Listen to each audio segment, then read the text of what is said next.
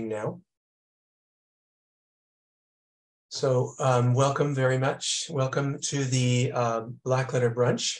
Um, our presenter today is uh, Gemma Black, uh, art artist, graphic designer, and calligrapher for, and, for, and teacher from, from Australia. And uh, she had to get up very early this morning to attend this. Uh, so thank you very much, Gemma. Go ahead. Um, thank you, Raoul. I'm absolutely thrilled to be here. And it's going to be sort of a little bit of a wacky old chat. So do feel free to unmute yourself if you want to ask a question. And so I might just um, go straight into my PowerPoint, and that's just going to help us get along for the next hour or so.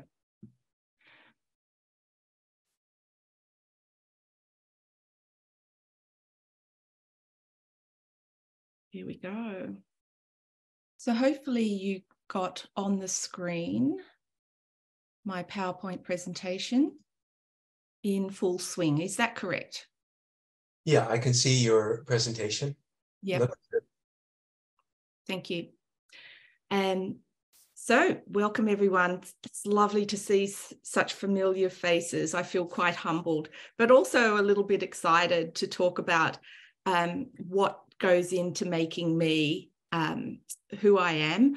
Um, and I think from some of these unusual images that you're going to see, that you'll you'll understand that coming from a different part of the world does influence the way you um, your your being is and how you see the world and how you see yourself in the world and the way you see your art um, in the world. I am an Antipodean girl, which is, of course, anyone that comes from Australia or New Zealand.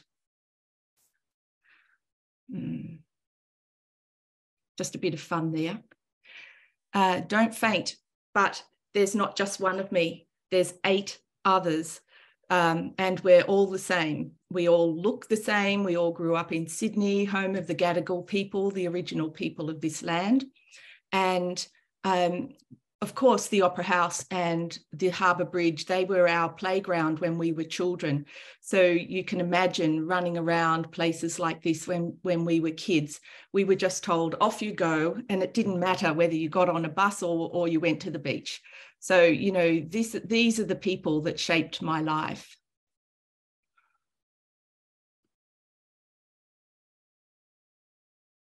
Uh, from Canberra uh, sorry, from Sydney. Oh, actually, I went to Canberra first, but anyway, this is uh, Tasmania. Um, I know at least one person in the room who's climbed this mountain, um, kunanyi. Um, maybe two people in this room have climbed kunanyi. And it's a very beautiful place. It's a place of wilderness and it's a place where you can actually just go and be by yourself in the wilderness um, or be with other people and fight the wilderness and truly enjoy um, what Mother Nature has to offer us. So I moved to Canberra first and then to Tasmania, and now I'm back in Canberra, um, home of the uh, Ngunnawal people. And this is what Canberra is like at the moment. I didn't take this photograph, I picked it off um, Wikipedia, I think. um, because I couldn't get a really lovely photo of Canberra. But we're in autumn now, and it's it's truly beautiful. Um, I often talk about the land and where I come from, and even some of the pieces that I've written talks about the way where you live shapes your life. Um, so I think it just gives you a little bit of an idea of where I'm coming from. You can actually see almost um, here Ngambra was an Aboriginal word um, as well as Ngambri, and it ended up being Canberra because the English speakers couldn't pronounce Ngambra. And staying on my um, uh, Australian theme, we have here in Australia Indigenous artwork that dates back to, uh, you know, 30 odd thousand years although I'm not going to stay with the Indigenous art, but um, growing up in Australia, you cannot avoid being part of um, the Aboriginality uh, story of this country. We all had didgeridoos, we had boomerangs, we had, um, you know, cultural materials uh, that were freely available to use um, uh, and enjoy and to understand in this country. Um, dating Aboriginal artwork is very difficult and rather than dating the artwork itself, which of course was the Aboriginal narrative and the story of their time here, um, it's dated mostly because of the tools and the materials found at various um, campsites around the country. If I'm talking flints, etc. Um, so just as uh, Indigenous artwork all around the world has informed um, uh, you know, certain races, their stories. So too here in Australia. And of course, we we are able to take advantage of beautiful ochre colours uh, here in this country. But not only is there rock art and cave art, but we have these these churingas that are carved stones, little stones that have been carved with flints. And I can't help but feel this real um, you know, pull to the other side of the world when you see something like the churinga here on the, on the right. But let's leave that for now because I just wanted to start there so that we could, you could get a little bit of an idea about where I'm coming from as a calligrapher. But this is where, you know, we join forces um, with the, the Lascaux Cave, uh, in the valley, in the Lascaux Valley in France, where our story, yours and mine, uh, and all calligraphers of the Roman ilk, um, go right back to the Aleph. And on the right hand side is a story I wrote about the evolution of the Western alphabet being a wonderful story of 26 letters, each with individual character and purpose. A magical, majuscular journey of time, peoples, cultures, and creeds where um, there's a there's a sort of lineage there running through this piece of work. And this was done for the Australian Society of Calligraphers in 1998. It's about A3 in size, so that's uh, your double letter size.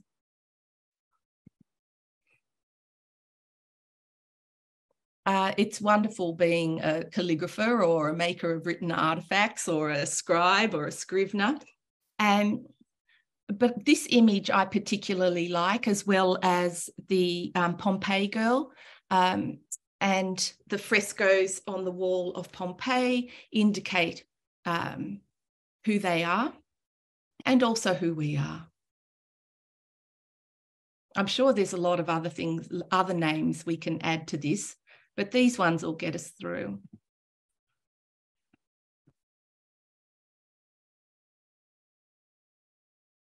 a lot of very familiar photos here for you. Um, and I'm depicting the scribe here in particular in this hieroglyph because we can all relate to the flat palette that the scribes used with uh, the red and the black. But I rather see myself not quite so much as uh, this particular Egyptian scribe, but rather like these scribes. This is one of my favorite little images of scribes, and I use it all the time. And this is how I see my life. I I am just like these scribes here. I'm a bit of a go-getter, and I, you know, just got my finger in every pie. Um, and so I thought I'd show you this image, not because, I mean, you all know, of course, who they are and where it comes from, but, and this is our history, um, but rather I see myself as one of these, just get in and do it sort of thing. And of course, you know, the, the pinnacle of where we come from. Um, is this your photograph, Carl? If so, I didn't it, know that. It might be. Yeah, it, it, certainly looks like yours, but I wasn't too sure whether you took it straight on like that. Um, take a straight on one, and then I the one I really liked was the the angle. Yeah. Off to the side. Yeah. And I was pretty certain that this was yours. So, um, reference to Carl Rawls for this particular photograph. And of course, for those that haven't been, um, the the um, it's down behind these pillars down here. It's only right at the bottom of the Trajan column. But i t- I've taken this along with the rest of you um, to mean something very important in our lives. And it's we strive for the, um, the, the pinnacle um, of form. Ah, I forgot I put that one in there. So this one was um, created, let's say, the the inscriptions on the um, Appian Way and uh, outside of Rome. And there's my eyes coming through the stone. Uh, and there I am, obviously using a quill with all the barbs still in it. But this was done in 1993, and it was part of an exhibition called Sense of Self. And um, because I didn't want to use the Trajan inscription. I wanted to use something a little less perfect because I feel that that's what um, I am, we are, um, and almost as if I'm always going to see my way through regardless. So I've taken those letters, just like all of you, and have used them in a variety of ways. But one of the ways I really enjoy um, using the Trajan inscription is in this watercolor uh, watercolor cutback technique, and it's something that I learned in art school where um, you create one series of letters. So in this this large one, this is a very big piece of work. Um, ABC and XYZ were done first and then you paint the background and then you draw the next layer of letter form. So these are all hand drawn um, Trajan letters. And so the last layer uh, was actually the depths in there um, going into the P's and the K's right in the background. Um, so this is an early piece. This is probably 1999. Um, and this is a more recent one. And when I have nothing to do, I, I like to do skeleton Roman capitals. I just draw skeleton Roman capitals. And before, you know, like if I want to sort of warm up, uh, I'll just do skeleton Roman capitals. I just adore them and they're so versatile. Um, and, you know, as you all know, they are. And understanding those proportions and being able to draw them with a pencil is, is really uh, fundamentally who I am. And from doing that, something as looks as simple as the skeleton Roman, all of a sudden you start moving into something else. Um, I find it's a really good way to just ground myself because you have to sit still.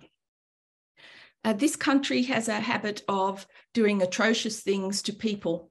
Um, and I think it probably starts from our colonial past. Many countries, of course, are the same, and not naive enough to know that it's just us. Um, the Apology to Australia's Indigenous People is a work I did in 2008 when our Prime Minister apologised to the stolen generation. And they were stolen. Children were taken from Aboriginal parents, you know, loving mothers and fathers, and um, and taken to uh, missions and to camps, sent to other parts of the country. Um, I know a group of boys who was taken from, you know, the hot of Arnhem Land and sent to Melbourne to be educated. Um, and it was time that this country uh, apologised to the stolen generation. Um, it goes beyond that. Uh, we're still we're even though an apology was made it's not the answer. And i don't think that the complete lack of respect for the people that were here um, will actually ever um, leave them. Um, so this document that i did was my first uh, apology. I was actually working for the government and i said to them you know, if you do this on a piece of skin, calf skin, it's going to last for a thousand years.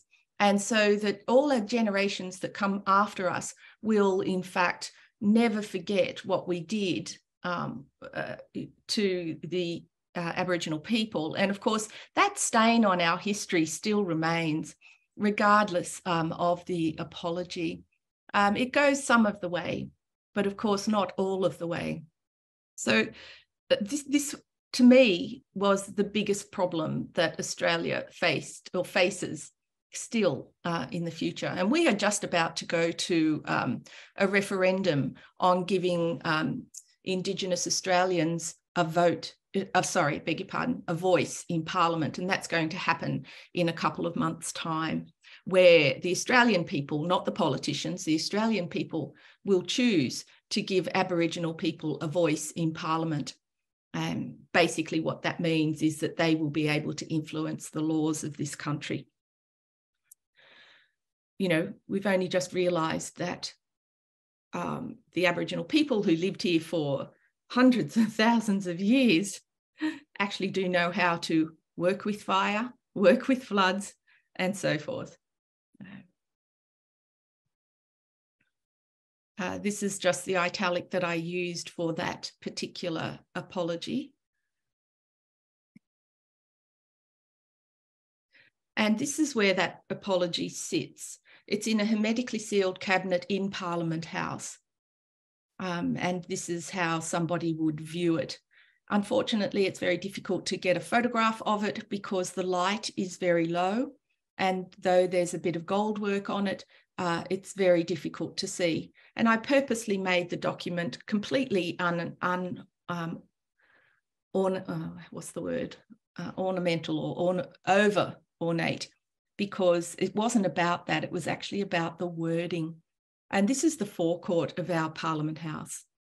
And it's just you go straight in those front doors, up the stairs, and there it is.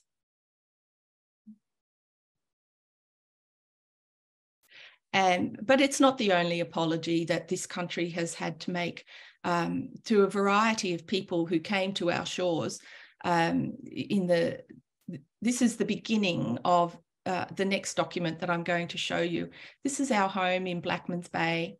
And I would work on this sloped surface with a roll, uh, this thick cardboard roll that I had to put at the bottom of my drawing board so that when I'm working on the vellum, which you'll see in the next shot is very, very large skin, um, it needed to go under and around that roll and across the top of my lap.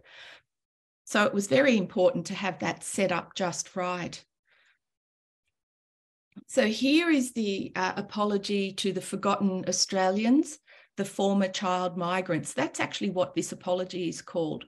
So basically, in the 1950s and 60s, children, of course, sent out from the UK um, and uh, to to lands beyond um, their their uh, their knowledge uh, and put into institutions and homes. And they were mostly orphans, not all, but mostly orphans. Um, people down on their luck. They all came from England, um, mostly England. Of course, convicts mostly came from Ireland. And so this was an apology to those people who rallied the government or lobbied the government for an apology because many, many of those people became um, uh, there was, well, you'll see in one of the other apologies that's coming up, they were sexually abused.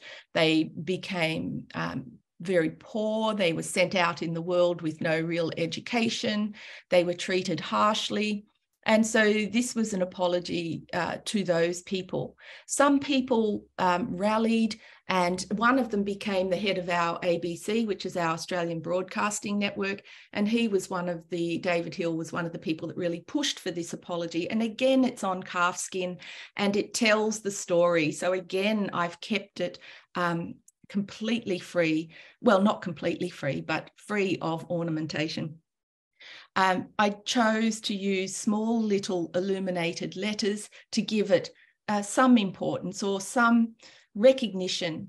And so, of course, the first thing that I do is all the lettering Uh, there was quite a few hundred words on this one. It was a lot longer than the apology to Australia's Indigenous people. And so the first thing I do is all the lettering, okay? And then the next thing I do is I pop in these little illuminated letters.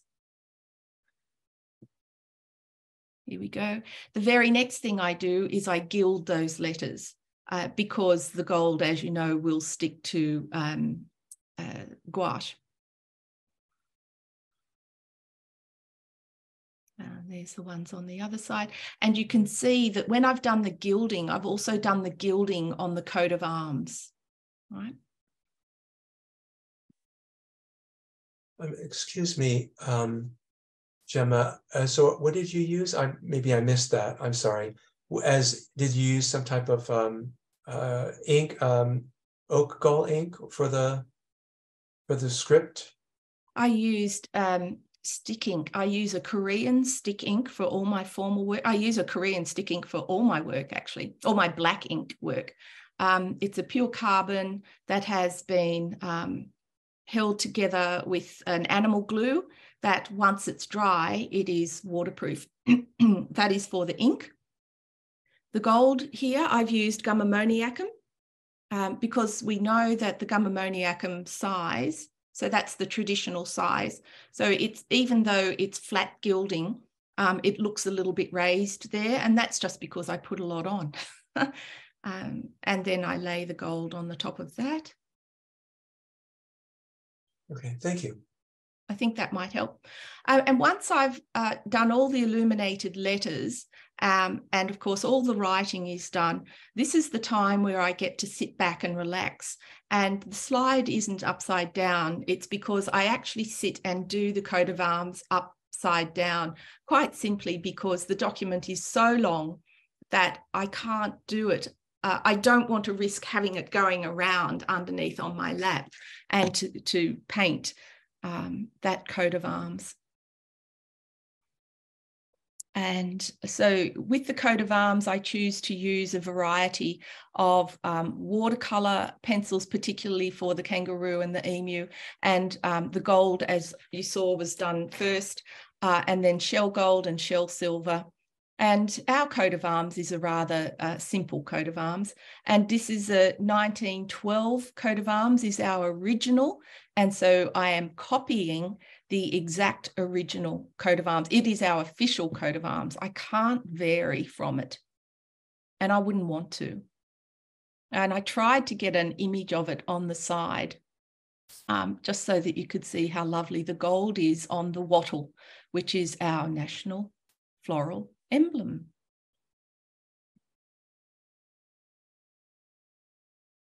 And so that's a, a front on view of the um, the little illuminated letters, and they're Owen Jones illuminated letters. And the italic is um, not overly flourished, it's quite lovely. Um, the calfskin vellum is beautiful to write on, and you get a really gorgeous response to your work. And there's that full manuscript or document. Uh, as you can see, it is quite long, and it's just a matter of getting the writing done, putting yourself in a frame of mind where you're very professional. And I tend to read these documents first and then sort of get over the emotional side of it, uh, and then uh, then you know just sit and write.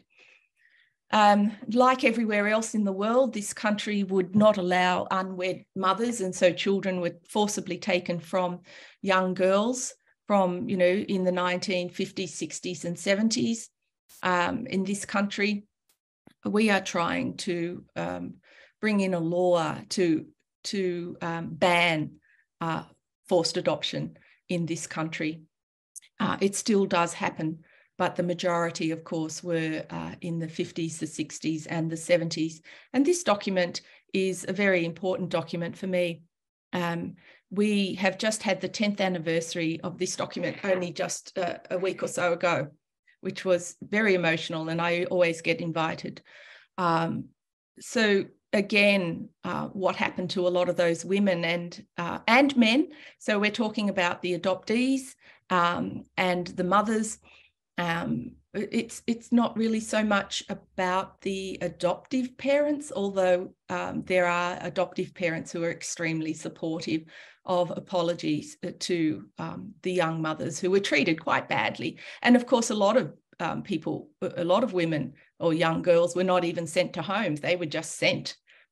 Um, so we have a pretty tragic history here in this country. But um, you know, for me to be able to create a document like this or these documents so that they're going to last and they're on view in Parliament House so that except for one of them it's in the National Archive. Um, this is the latest apology and the last apology. And we've just had a big debate in this country about um, do national apologies mean anything? Do they do anything? Um, well certainly at the time they do uh, and of course, the number of children that were um, sexually abused in a variety of institutions around Australia, it's the same around the world. We're no different in that uh, in that way. Um, but not only um, institutional institutionalized sexual abuse, but also all those unknown um, sexual abuses in homes. And, and to create a document, uh, each one of my documents are different. Um, I don't want any of them to be the same. So as you can see, they've all changed. Um, my images are not all that fantastic, but they're, they're ones I've taken myself and I think they sort of give you an idea. So I thought I'd share those with you. It's always nice sharing tools and materials. So this was just after the first apology. Gemma, can I can I interrupt just for a sec? Go ahead. Uh, this is sort of like uh, not pertinent to the important subject matter you did, but in the coat of arms, is that a cassowary or an emu? That's the bird. Just yeah. out of curiosity. Yeah, no, that's a good question. Um, it's a it's an emu. So it's a smaller version of the ostrich.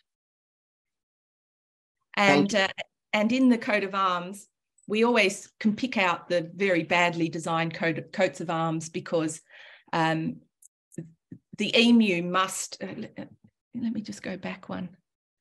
I can hardly see it here, but the emu, because it has no hands, and in heraldry, um, the animals must hold up the shield, right? So on occasion, we'll find, uh, we'll see the emu has no hands. This is just an aside. Um, so the breast of the emu must sit right on the shield. And on occasion, you'll see some coats of arms, you know, stylized coats of arms, particularly metals or woods, etc. That uh, it's not uh, it's not quite so, or just so. Oh, this I did this in the 1990s, and it was my first attempt at uh, a coat of arms. And it's the McLaren coat of arms, which was my mother's family. It's quite naive, um, but I still think it's quite sweet. Um, I work collaboratively with a lot of people, and this is um, a couple that I like to work with, John and Joy Tonkin. This is um, uh, here of Canberra, and it doesn't matter where I've been living, but I've always worked collaboratively with them. Um, this is pigskin uh, covers on uh, this declaration for of modern slavery, declaration against modern slavery. Um, and it was commissioned by the Minderoo Corporation um, to create these two identical books, all by hand, to be hand bound. And to the Minderoo Corporation is owned by um, Andrew Forrest, who is a mining magnate in this country. Um, and he and his wife um, run this company and they are anti-slavery. They've put a lot of their money into modern to, to modern slavery. Um, and this book travels the world collecting signatures of dig- dignitaries, uh, from dignitaries uh, from the Pope right down through uh, all of society, um, um, leaders in every walk of life and right down to the man in the street um, can be offered to sign the joint declaration against modern slavery. So every page is handwritten and Joy, John, and I worked on this uh, probably for about a year, where two books were produced and hand bound. Um, and again, this is in um, Blackmans Bay in Tasmania. Now, this is just a snap of two of the of the two books that John and Joy have um, bound from all my um, sheets, my um, quires, and these two books go into their i haven't got a shot i do have a shot somewhere but i couldn't find it into um, their their slip cases which are um, solander boxes that seal beautifully. So these books go into the solander boxes and then those solander boxes go into two metal suitcases that are locked and carried around the world by the minderoo corporation. So basically, what we're talking about here is that in the hotel down the street, you might not know that there are people who are being kept there, uh, people brought into the country, and their passports taken away from them and they've been set to work. Um, so this happens every day. Um, I don't know if it's going to solve any problems, but uh, here we have one of the pages, uh, and this is written in Bar. Is it Bar? Um, the Indonesian language Bahai, bah, not Bahai, Bashi. Anyway, so it's all written in Indonesian. This particular one is uh, by the Indonesian Freedom Net- Network. And whenever, uh, I don't know what's wrong with, um, anyway, so every now and then I get to go to Perth to um, put, uh, to add some sheets into this book, to slip some sheets. But when a little commission comes along that you have to recreate the coat of arms and recreate the logo type that goes with that coat of arms. You know, I had to do something like eight um, documents from go to woe. And each one of these, it, it's a dream job. You just sit there and thoroughly enjoy yourself creating the coat of arms, the logo type, and then the information that has to go on the document. And this is when I find myself in absolute pure joy in what I do. Um, so these uh, certificates, the heritage certificates that are given out in this country uh, every year um, to scientists who you know develop or do something uh, but to be so even the commonwealth of australia is all done by hand and you all know how to do that. It's just just pure joy creating um, this type of work. Every now and then a job will come along that is so long that there's nothing you can do with it except write it. 80 lines of um, the poem um, written by um, oh gosh it's um, ben Johnston, of course um, about shakespeare his contemporary and she wanted purple so this is actually all in purple it's not in black so you just do it basically and hope that you don't make a mistake. I love type. Um, I, I'm not, I don't have anything to do with type other than I've got a lot of type. And every now and then I just take it out and play with it.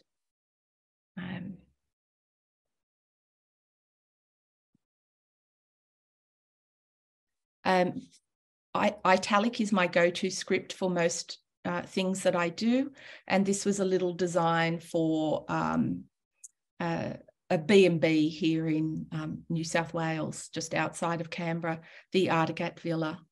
Uh, and so I just worked on this until I got it to a stage where the customer was happy with it and then just let it go. But the italics that I use, the two italics that I use um, are the uh, Bartolomeo Sanvito, of course, he wrote the Bembo sonnets for Pietro Bembo um, uh, on behalf of his son, I think, organized for it to be commissioned. And so I use the Bembo sonnets as my, that was my training ground for italic. Um, but then later on, so I'm talking back in the 80s, this is when I started the study of italic, and that was our prime specimen model to use. Um, but I also use, of course, um, Bernardino Cataneo um, or Cataneo, um, the scribe of Siena, whose whose italic I find to be extremely refined. He was a writing master. Some of you will know him, and probably all of you will know him. Um, made famous by Stephen Harvard's book uh, called An Italic Copybook. So they're the two italics um, that I, you know, sort of build my own italic on. Um, and I never ever will create an italic or any other letter form um, that I don't make my own. You, you, can usually tell because we all have those characteristics that make us who we are, and it comes through in our letter form. I love making little books. I just make lots of little books. And these, we all do, I think. That's a bit crooked, but it doesn't matter. They go to nice little homes. Paste papers. I've got so much paste paper, like it's coming out my ears. I made so much paste paper in the 1980s that I never need to make paste paper ever again. The Blue Books of Love. These books are held in, um, you know, love is blue, really, isn't it? So these are three little individual books. Um, they're concertina and they've got uh, perspex covers. Um, and one of them is held by the Letterform Archive, and two others are in private collections. And they're really gorgeous little books um, about love. Love's coming. Uh-huh. And so the paper has all been hand dyed, uh, and I had the little Perspex covers made um, to fit uh, the books. And I've hand dyed the covers with um, uh, schoolgirl ink let's call it schoolgirl ink you know those little um, sachets that we used to make the the quarts turn into four quarts of ink uh, when we were kids. So i still had some of those. So i hand dyed the paper and also used a bit of walnut ink. And then the lettering of course is all um, in pencil. Pencil. Um, these are a couple of books that i made while i was on residency in venice at the uh, International School of Graphic Design or the Scuola. I like books. I like um, gilding. Um, I do a lot of both traditional and modern gilding, and I've just finished. I'll quickly go through these because they're basically just, um, you know, they're just little snippets of the sorts of things that I do. So um, I was talking to Raul yesterday about not um, I I'm I can't be pigeonholed. Um, I do a little bit of everything, traditional, um, contemporary. You know, I guess I'm a Jill of all trades or a jack of all trades. Um, this is the gilding. Uh, that's on vellum. This is the one on vellum. The next one's on paper. So I work on vellum and I work on paper. Can actually even see the pores, the little holes here, the pores of the skin. Uh, again, gilding on gum ammoniacum. Uh, I find it very difficult to photograph black, but so what you're seeing are just images that I've taken. Um, I can't emphasize enough to my students um, to do their swatches. If it works on the swatch, it's going to work on your piece of work. I mean, it's as simple as that. Just always do your swatches. Um, and gold tooling. Uh, again, I really love just sitting and doing those very fine filigrees. Um, so this one is on paper um, and showing people how to do that. Uh, these are Owen Jones uh, illuminations and gold tooling. I mean that that the gold tooling and stuff's mine, but the basic letter form is the Owen Jones. And here you can see a couple of other older images. These ones are quite old now. Um, there's a lot of gold, um, and I'm not really a blingy sort of person. Um, these are all the sgraffito technique. So you lay a color on a substrate underneath, and then on top of that color, you lay gold leaf. And I always use um, genuine gold leaf. I don't use imitation gold leaf. Um, and uh, the one in the middle is a little booklet that I made, a triangular book out of wood. The one on the left is on paper, and the the one on the right is actually also on a little wooden um, tablet. And you scratch through the surface to reveal the color underneath. gold there's gold everywhere and like i said i'm really not a blingy sort of person but um, the gold sort of does something little bits of gold does something um, you'll all know about the museum of international calligraphy in moscow if you don't um, that doesn't matter there is a, a great museum there that collects um, or acquires calligraphy from around the world and this is a hand dyed piece of paper, or pot boiled piece of paper, or eco dyed, um, done in the early, early 2000s. And this was, um, and these were actually white rose petals. And with the addition of the iron mordant that I used, um, this is the resulting color that I received. And every time you do one of these um, you know sessions with pot boiling you always come out with two identical pieces right so i had two identical pieces and as i said they were white rose petals from my garden roses in my garden and this was the result and so i wrote uh, i'm a versals person as you will see in a minute um, I, I draw letters, I, I compound them, I, I adore drawn capital letters. And it takes, it goes right back to those early um, training days, my Roehampton days with Trajan and my days with um, Thomas Ingmire and, you know, drawing the Trajan letter to the finest degree. Um, and this is all done in pencil. and again some more pot boiled paper. Um, i really enjoyed um, doing eco dyeing as it's called these days. We used to call it pot boiling when i was younger. So, this is what happens when you work for some companies and you make a design that's going to really be, you know, how exciting to have the Folio Society of London send you an email to say, We'd like you to design the cover of the Revelations of Divine Love. And so I thought, gee, I better, I better read the book. so I did. I read the Revelations of Divine Love, even though I knew about Julian of Norwich, um, the anchoress that was holed up in the wall in um, in Norwich uh, church. Anyway, so I designed this lovely versals, of course, here, Revelations of Design Love on the left hand side. Um, and I don't think that that was actually the finished piece, but the, it was the finished design. And of course, on the right, this is what I received. And, you know, it's just all wrong because that wasn't the way I designed it but they wanted that. And I didn't even design it as a religious cross.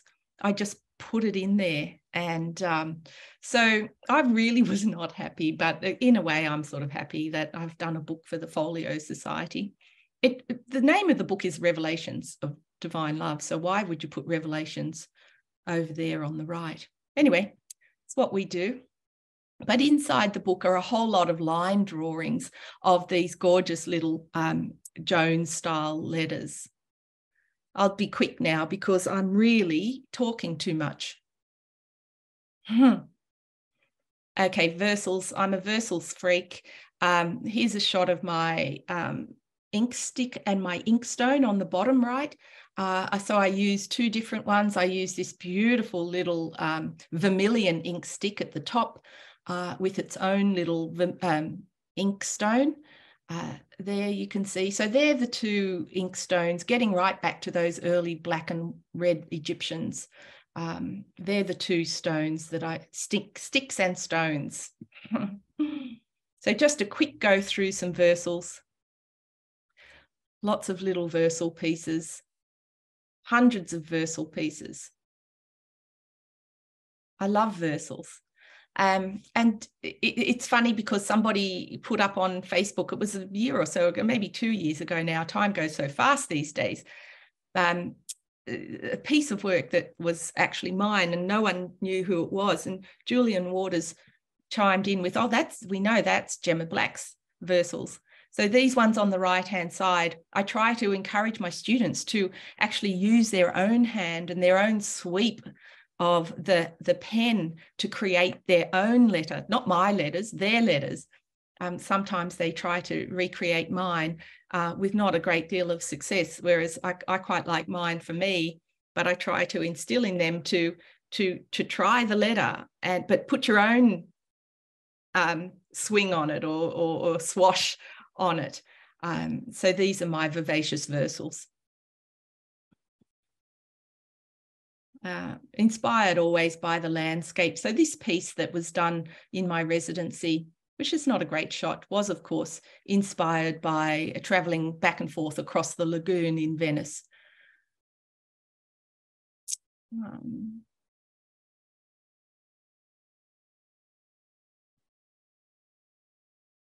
I do like a little bit of watercolor. Uh, this is the nature of geometry, which I think you've all seen, thanks to Carl. Um, I do like a little bit of watercolor uh, and designing, just starting out with drawing skeleton letters and then adding weights regardless, not a particular script. I'll just go through people who I'm heavily influenced by. Um, David Jones, the author, the Welsh author, poet. And here uh, is he in his study with uh, one of his most um, highly refined pieces of work. Uh, and there it is behind him on the wall. So it gives you an idea of actually how um, uh, how big that piece of work is, written in um, uh, alternating lines of Welsh and Latin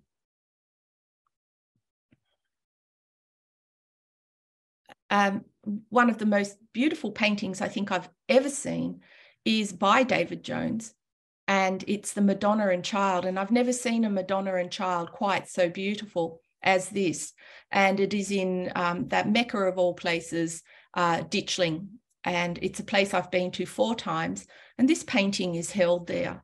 David Jones painted it for um, as an engagement present to uh, the daughter of Eric Gill, whom he ended up not marrying. She broke it off. But as I said, I'm very heavily influenced by certain things.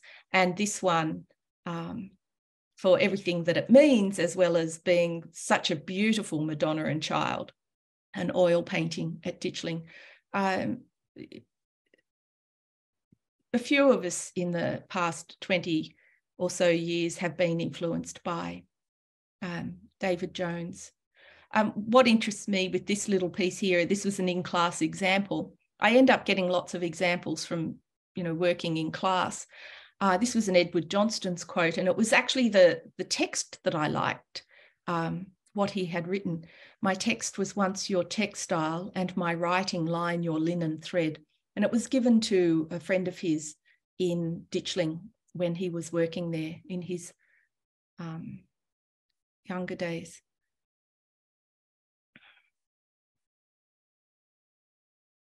Um, the skeleton Romans come in my work all the time. Uh, they're just always there.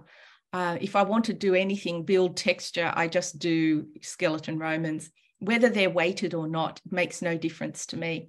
Um, so I teach this course called um, React and Respond. It's called Calligraphy React Respond.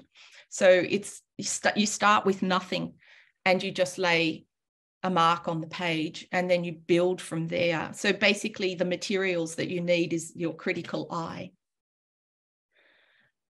And so you end up building and building and building until you get to a stage where, and you know, there's no lines, there's no planning, there's no nothing. You just do it. Um, and I started to work this way because I met a mosaic artist in Tasmania when I was living there and became great friends. Um, oh, heavily uh, influenced by uh, Neudorfer. Um, and here's an image, a painting of the Nuremberg master and his student. So just quickly now, I'll go through all these people that have influenced me. Um, and you'll be able to see in my work, uh, not so much the um, Fraktur or the black letter. That's not my um, area of expertise. But this um, this uh, Neudorfer's teaching manual is just fantastic, and I know a number of you've seen it, and it is available online. for you to be able to go through. And I love this one. I mean, it's it's so old. We're in the 1500s, and here we see nulla dies sine linea. So basically, it's something that we see calligraphers write over and over and over and over again these days. Even I've written it a couple of times. Never a day without a line. The extraordinary work. And then, of course, the Theuerdank, which is a fictional story um, that was created for the um, for Maximilian. And it's it's really quite an interesting. I, I have the whole Theuerdank here. It's it's exquisite to look at and to think that in the fifth. I mean, I know you guys, you know, who are really into type and you know a lot of history about type. To think that they created these wood blocks and these type all that time ago and created these wonderful, wonderful books. Um, I wanted to put the colophon, I wanted to put on the right hand side here that blow up the colophon, but basically it, it just tells us that it was um, printed in, Nurem, in Nuremberg um, and by uh, what's his name, Schuen, Schuen, Schuen. anyway, it's gone. Um, Schoen, Schönsperger. Yes, thank you. but what I particularly like is this image. And this is um, Maximilian as a child. And this depiction is his tutor teaching him um, textura. So this is an original um, uh, vellum piece. Uh, and it's it's using, of course, the grid method that medieval scribes used to create their, their works. And it's a way that I teach using the grid method these days. But this is a fine, fine example of the textura and how wonderful um, to see um, Maximilian there as a child. Um, Neugebauer, of course. I'll quickly, quickly go through this because we're getting up to, to time. Uh, here's an image of Neugebauer when his work was being collected. Um, and you will all know the book, uh, The Mystic Art of Written Forms, and it has such an array uh, of styles of work um, uh, Frederick has created in his lifetime. Uh, and this is what he said um, at the Bodelhaus when his work was opened there. Now it is my turn to pass on the delicious heritage I'm therefore happy that a promising home for script has been found today, which unfortunately was not granted to my honoured teachers at the time. Active, enthusiastic idealists now want to preserve and care for my calligraphic works with me in this beautiful house and give them a home. How wonderful.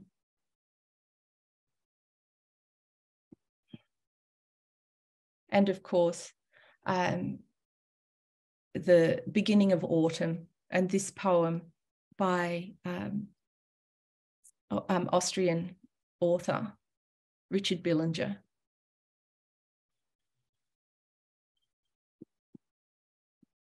His lovely Fraktur. but not only does the Fraktur have to be, um, you know, written out in straight lines. How beautiful is this lovely piece on the right? you've probably actually all got this book, so I'll just very quickly. But his his work does influence me, and what a beautiful Bruckner, Anton Bruckner, um, the the um, um, composer, a really lovely written Bruckner. And two things: I never recreate um, work other than studying and trialing originals. Um, I never really recreate it. I always change it so that it becomes mine, not theirs. Um, but one of the books that has seen me through my lettering career, and I'm so glad I came across lettering as drawing when I was a, I was going to say a child, but a child calligrapher, let's put it that way, um, because it informed the way that I understood what calligraphy was all about. That book by Nicolette Gray, um, again, you've probably all got it, and I'm probably not telling you anything. But I took this piece of work from that book and I gave it to um, a group of students, uh, quite advanced students, but not that advanced, obviously. And I said, you know, is this a contemporary piece or a traditional piece, an old piece? And they all said, oh, recent, very recent, very contemporary. Well, of course it's not. Um, as you'll all know, it's a papal bull and it's a 12th century. And how stunning is it? I, I'm just in awe of that form uh, of the lowercase there on the right hand side. Um, no one's going to be able to repeat that, that's for sure. Well, I know some people here who could. And again, Rudolf Koch. Uh, so Rudolf Koch and Hermann Kilian and um, Hermann Zapf uh, you know, Neugebauer, these people from Middle Europe, just amazing, amazing essence to their lives. And there's a couple of photos I took when I was in the um, Schreibwerkstatt. Uh, no, I wasn't there. Where was I? I was in um, Klingspor. uh, it's nice to get some close ups, the texture of the paper and the ink on the paper. You know, there's real life in this work by Rudolf Koch. And that's what I love. Uh, this was a handmade book by him, and it was the um, the Gospel of St. John, the evangelist. There's something really wonderful about looking at originals. Uh, we've all seen this image, but taken without the glass in front of it. But this was the one that I took in um, uh, this Schreibwerkstatt in, uh, no, so no, I was in the archive. Sorry, got that one wrong again.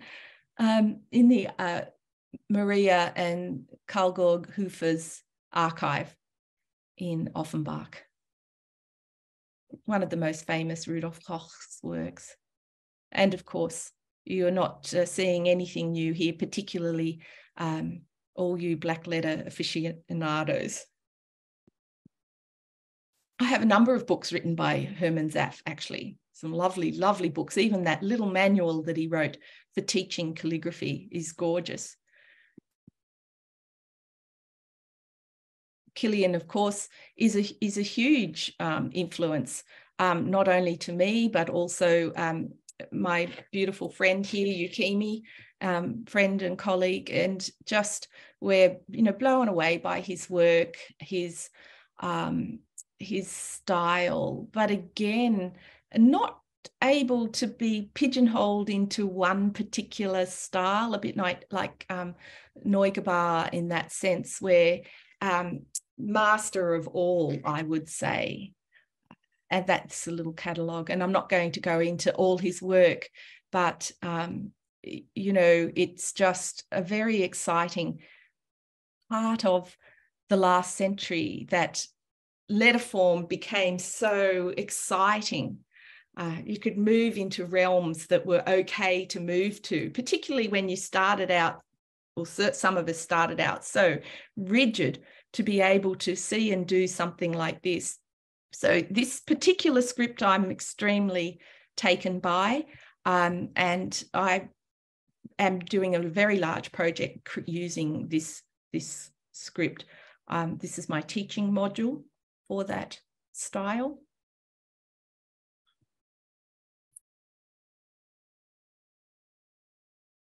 Just quickly, these are just some of mine. Um, bouncing off um, Hermann Kilian. Uh, and I wish people around the world would spell his name correctly. Um, so it's it's just sort of bouncing off him. It's not him. It's not his hand, it's my hand. It just has that feel of Kilian, uh, but used in a variety of ways. Okay, I think we're sort of just at the end now. Um, I just love letters in all their ilk. Um, yeah, this, I mean, just to see the paper and the you know, looking at the gouache on the paper and the quality of the ink. And uh, so that was just a cadmium red gouache with a carbon a black ink stick there on the right. Something so simple um, I've been heavily influenced by um, uh, Hermann Kilian's love of time. Time features in all his work, pretty much in all his work. My um, Fractal is just not up to scratch. but when you have a client that wants you to have something like 20 images in a piece of work, you think, oh, go away. So this piece of work was done on vellum, and there's nothing better than working on vellum. I have to say, it is so beautiful, and it has that real rich uh, quality after you work with the, the gouache and the materials. If you're using good materials, you're going to get a good result with a good skin. Um, um, so yes, uh, this was just an in-class demonstration, but I love the way the the ink, the wetness of the ink has pulled that paper into um, its it's cockled or it's stretched, uh, not stretched, it's shrunk, shrunken form. Uh, it just yeah. So this was just an in-class demonstration. So I work large, and then the students just work um, beside me or whatever. And I threw this little alphabet in because um, I found it in um, in Michael Gullick's book Calligraphy. I think you might know it. If you don't know it, have a look at these little images, the next couple.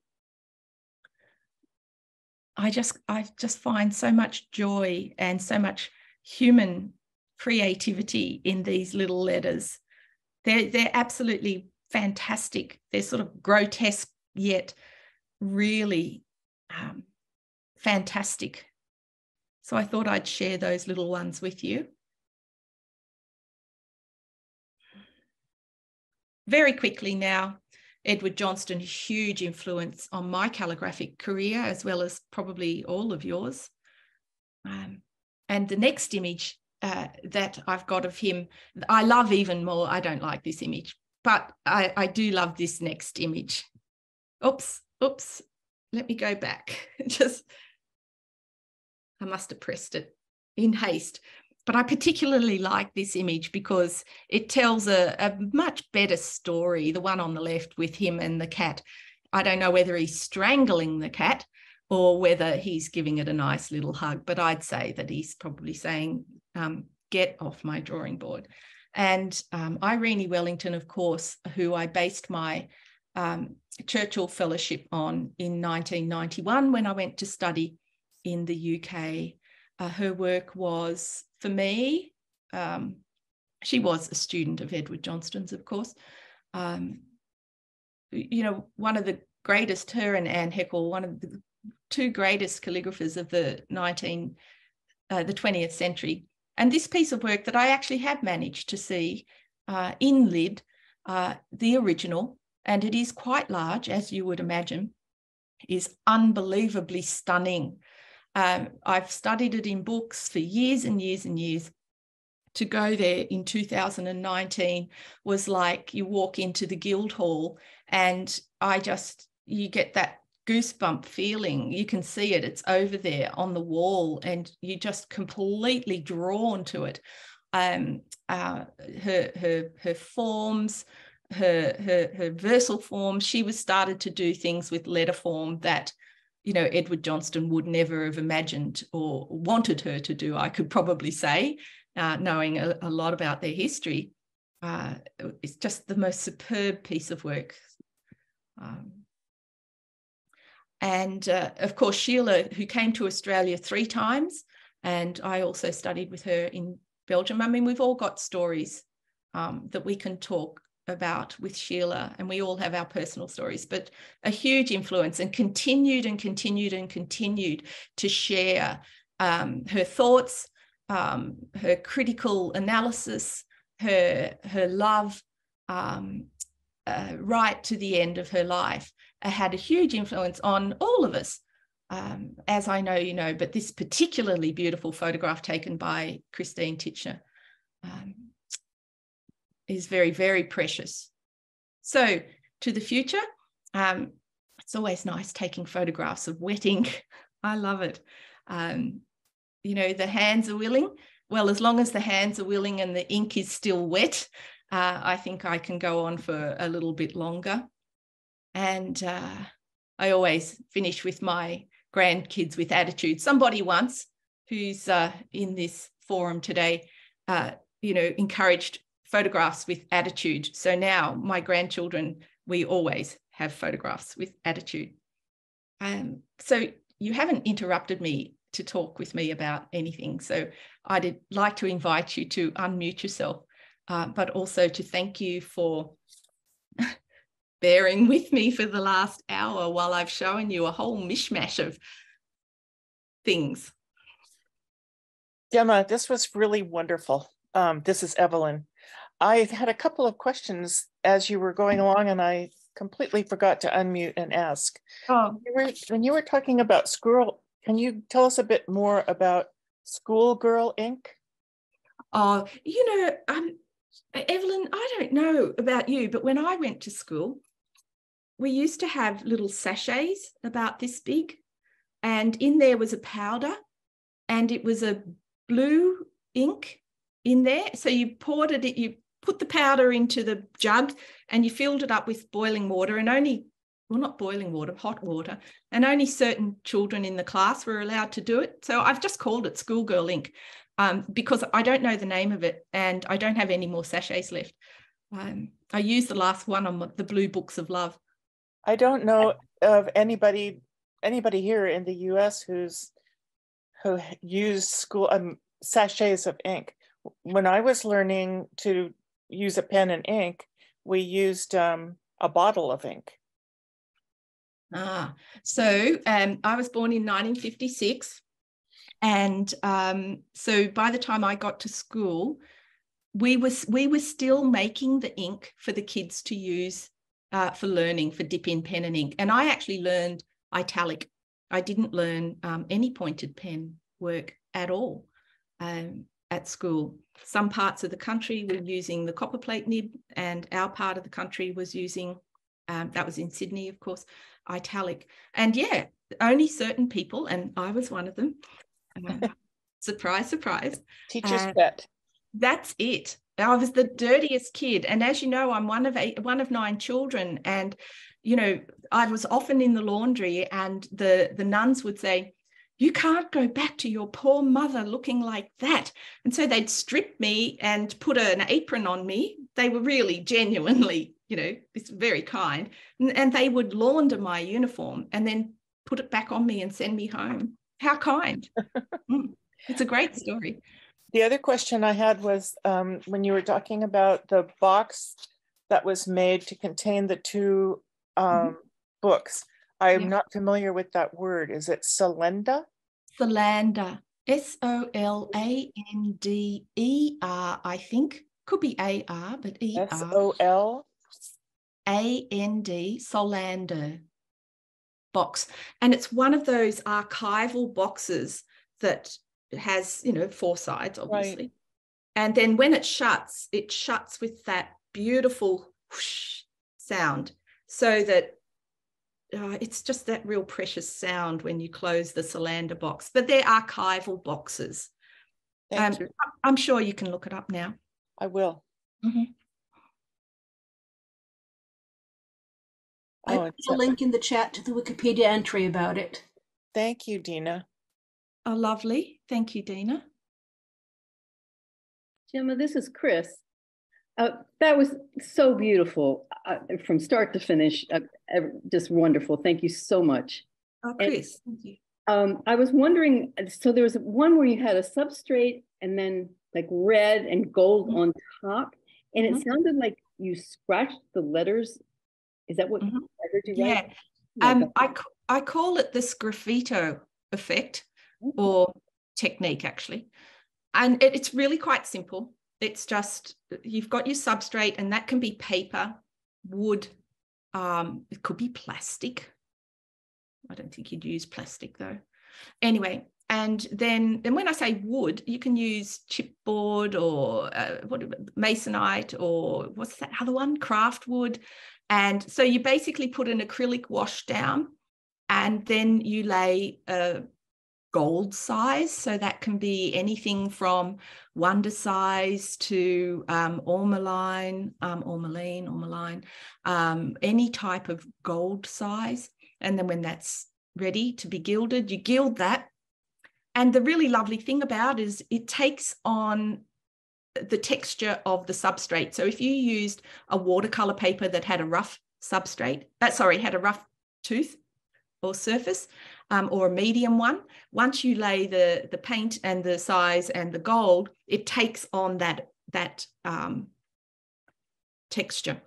And then when you allow that to sort of settle, you can just start scratching through. And if you had multicolors in the background, you, as you scratch through, those multicolors start to um, reveal themselves.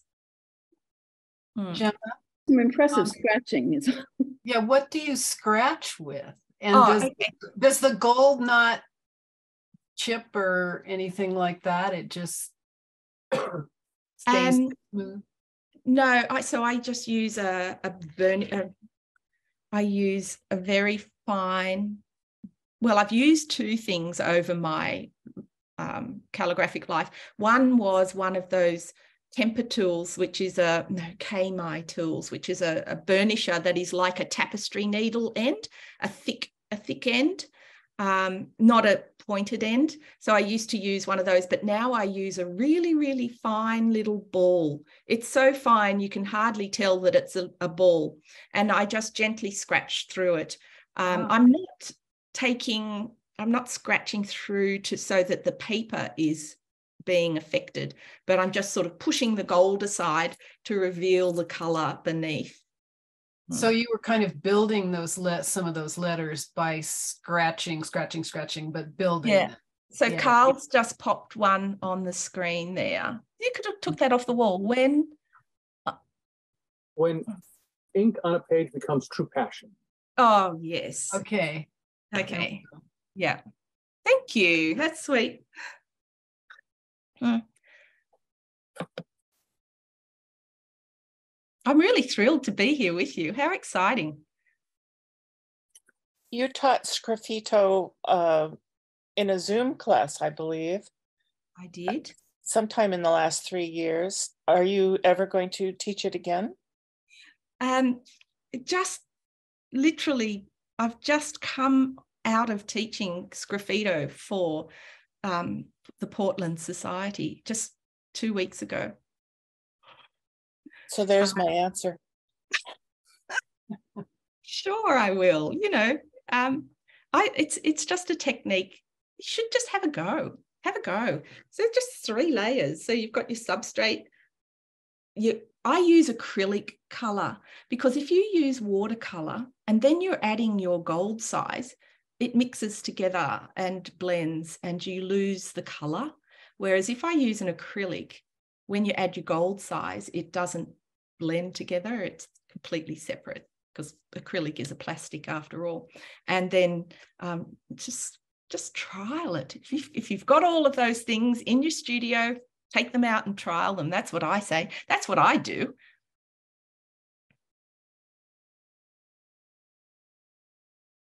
Um, Meredith? Meredith, you've got the floor. Okay. Um, while you're talking about classes and what you teach, um, well, I find all of the things that you showed us just so incredibly beautiful. But I, I, my heart just gets taken by your layered Romans with a watercolor, and I was wondering if you teach that as an online class or if that is more something that you need to do in person. Um, it really is in person. And I, the only reason I say that is because there's a lot of wet media. And in my online classes, I've got my Zoom cameras, sorry, my um, my document camera sitting right here, sometimes so right on, almost right on the work. Um, yeah, it really is an in person. I have not taught it via Zoom, put mm-hmm. it that mm-hmm. way, not yet. um, you know, if the world comes to it, then I, po- I possibly, you know, to to such a state, then I possibly would. But it's it's once you know the technique, and I learned the technique at this when I went to the School of Art in Canberra. and it was a watercolor technique. And of course, all my subject matter was letter forms, and my tutor wanted them all to be, you know, um, leaves and trees and still lifes, and you know, and I sort of was a little bit of a rebel, uh, and used letter form. Oh. Thank you. I had one other, you know, um, when you were showing your Fraktur and there was that you did the close up and there was that that little figure of a nun, I think it was in the middle of that. Um, had you painted that before or did you did you do the lettering first and then paint the figure in afterwards? It's um, so charming. Yeah, thank you. Um, I've done that quite a bit with some commissions where rather than sticking the person or the tree or the whatever it is outside of the text, um, I would do all the lettering first. And then basically, uh, that was Mary MacKillop, who is now a canonized saint. Mm-hmm. And so um, I then drew Mary MacKillop over the top of the lettering and I just painted her. And wherever the lettering was, I just left the tiniest moat around the the lettering. Um, I, it, not because it would have run, it wouldn't have because my ink that I use is waterproof when dry. Um, so I always leave the moat so that the letters stand out and she stands out. And uh, yeah, it, and I also did it again on that document with the, they wanted a painting of um, the cathedral in Melbourne. And I just, I thought, oh God, this, this is a mess, this document. You've got so many wants. Um, so I, I did the same with it. I drew it after I did the lettering, but it sits behind the letters. Wow. Thank you. It was very effective the way that Thank it was done. Thank you. Yeah. Thank you. Um, Gemma, um, in the uh, Ben Jonson quote, I think it was Ben Jonson, the quote about um, Shakespeare. Shakespeare. How did you do the gradated purple and amber letters in that quote? They were beautiful. Thank you. Um, it's just watercolor. Um, and basically, you start with one color and you move down the letter, draw up the letters, which were, by the way, of course, um, um, what were they? Come on, what's the word I'm looking for? They were um, Versals? Uh, they were Norland letters. Oh, so basically, uh, I just drew the letters and then started painting from one corner, pulling it right across the top of the letter, uh, and then bringing, putting my uh, more paint into the pool and bringing the pool down, and then slightly adding a little bit of the other color as I get to the middle. I did never make them perfectly cut through the middle, but the the ochre color was it was Indian yellow actually or was it yellow ochre and purple? Um, I'd start to add that halfway down so that it gets that mixing meld. And then, you know, there has to be a little bit of trickiness going on. And so I might get some clean my paintbrush so that I'm now starting to bring in the a heavier or a stronger color at the bottom. Um, it's just a, it's just a matter of melding the color as I paint down. And then with so many letters, Shakespeare, to try to get it. I didn't try to get them even. I just worked them as I could, bouncing off the letter before. I see. Thank you. That was a big job. Not um, 80 lines. Oh, please. and the piece that you showed by Irene Wellington, uh, was it Bailiff's Lydd or something like that? Yeah, Where, the Bailiffs of Lydd. Bailiffs of Lydd. Oh, please look it up. It's just the most amazing piece of work. And it's there in the Guildhall for all to see. You just have to go to Lydd, South East Anglia, East Anglia. Oh, okay. And I have to thank Tina Warren for taking me there. Uh, we've been great friends for many years, and uh, the two of us popped on down to Lydd, and the mayor was so happy to see somebody interested in the calligraphy on the wall that he put the mayoral mayoral chains around my neck, and I thought, oh my god, I think I'm going to fall over. They were so heavy. Um, but yeah, it's it's very exciting to walk into a room and see work like that. We've all experienced that. Is that L E E D Oh, Lydd. Sorry, it might be my Antipodean accent. um, L Y double D. Thank you. Gemma, I saw your piece in the Washington Guild's latest um, Scripsit, and you showed it today. And I just love your versals, as you know, which you taught that at Ghost Ranch, and oh, that gosh, it changed my life. Um, oh. And and so, um, but I was just thinking of those beautiful, flourishy, um, vivacious versals, and how how you put together those two. The more the red was in more reserved and then the other just flowing. It was very, very lovely. And it just made me think of that class and how much fun it was doing that and then making it your own, like you said. Yeah. I, I try to encourage people don't don't do it as it's mine, do it as right. it's yours. Yeah. I mean, that's our job. Our job is to study the past and move forward, quite right. simply. Um, yeah.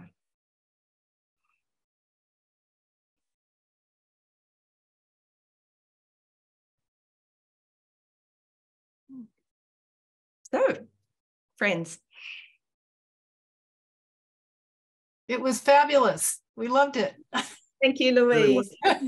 Very kind. Thank you. Thank you so much. Yeah. Thank you so much for for doing this for us. Um, it was a real treat for everybody. It's uh, a treat for me.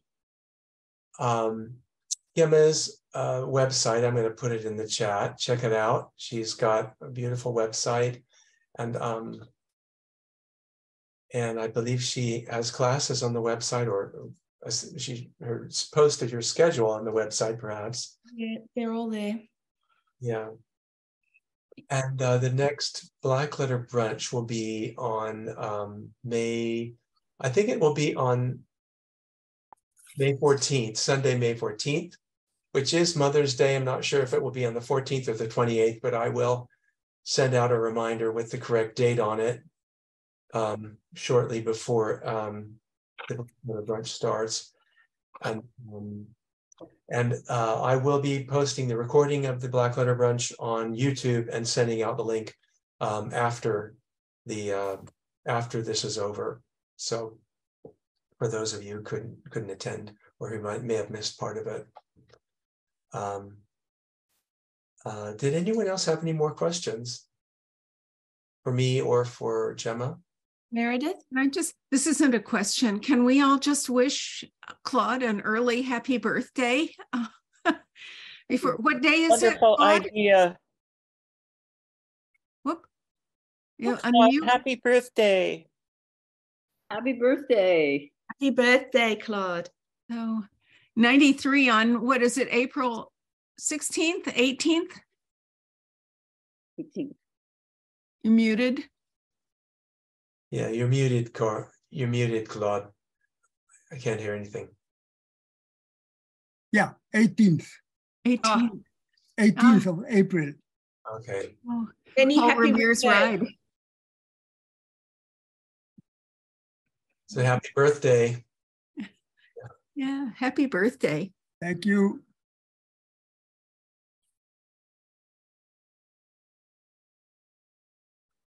So uh, thank you very much, everybody, for attending, and I will um, send out the recording later on today.